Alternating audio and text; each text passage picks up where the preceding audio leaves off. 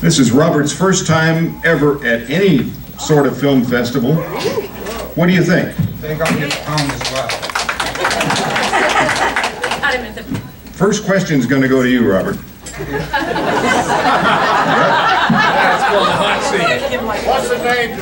Where did that Laredo clothing come from? For those of you who have not seen Laredo, they gave me about 30 costumes, every color of the rainbow, fuchsia, pink, mauve, whatever, whatever. Uh, I had to wear them. I think your question is why did I wear them? Why did I agree to wear them? I was under contract to the studio and you had no, no option. But the costumes were just one of many surprises. The first major surprise was that I was put in a Western. I had, I had seen horses, but I'd never been on the back of one.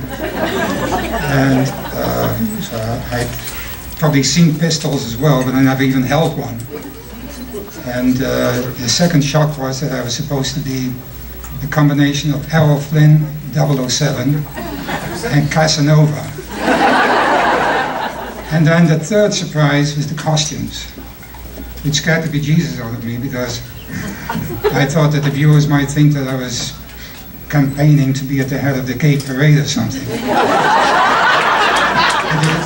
the only saving matter was that each of the episodes had some of the most beautiful ladies in, uh, uh, in Hollywood.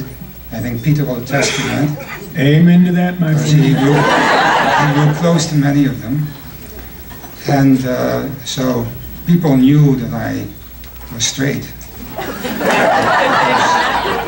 Invariably, within five minutes after uh, being on screen, there was a lady in a love scene with me, which I enjoyed thoroughly.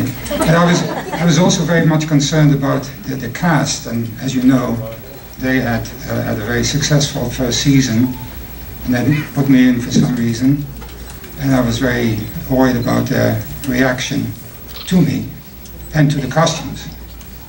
And that was your question, really.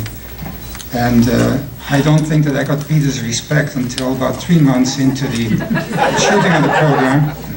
And on a Friday night, uh, we were shooting, I think it was 10 o'clock at night. Everybody wanted to go home.